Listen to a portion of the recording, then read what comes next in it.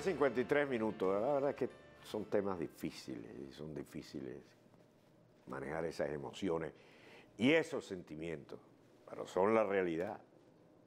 Y a la realidad hay que abocarse.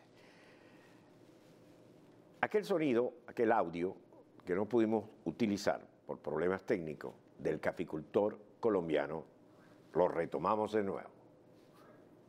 Hola ciudadano, los saludo desde los cafetales de Colombia. Como caficultor estoy bastante preocupado, somos muchos campesinos que vemos cómo en este país tienen más garantías quienes han estado al margen de la ley, quienes han traficado drogas, quienes han hecho y cometido grandes delitos, que nosotros los que trabajamos y somos la fuerza productiva del país. El país está paralizado porque los transportadores tienen justas peticiones y hoy el gobierno los amenaza con expropiarle los camiones. Me recuerda tanto a Venezuela en sus inicios.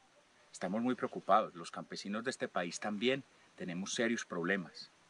Y como repito, vemos siempre que primero están quienes empuñaron las armas que quienes hemos empuñado una pala o quienes han empuñado un timón de un carro para trabajar honestamente en la patria. Jorge Ospina, productor cafetero de la hacienda La Gaviota. Bueno, esa era la respuesta al presidente Santo. Este no es un tema muy sencillo, es bien complejo.